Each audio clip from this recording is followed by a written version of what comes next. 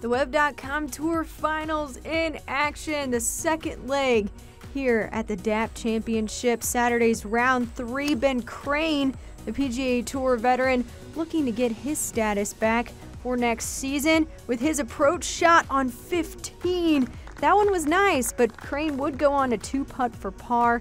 He is currently tied for fourth, along with fellow PGA Tour veteran Peter Malnati that one on the first for birdie to start off his day, he carded a 68.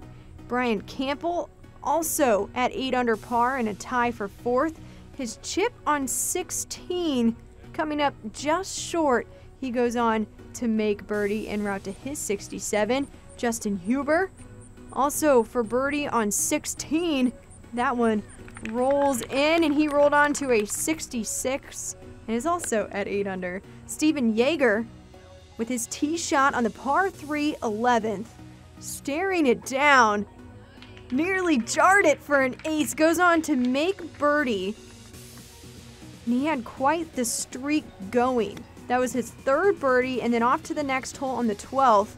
His approach shot sticks it close and then taps in for his fourth straight birdie he went on to shoot a 68 and is 11 under par, right on the heels of Kramer Hickok, who has led wire to wire all week here at the DAP Championship. That was his approach on 10, went on to make birdie, and then we see his birdie putt on 17 to help him card a 68. He is at 12 under par and already has his PGA Tour card.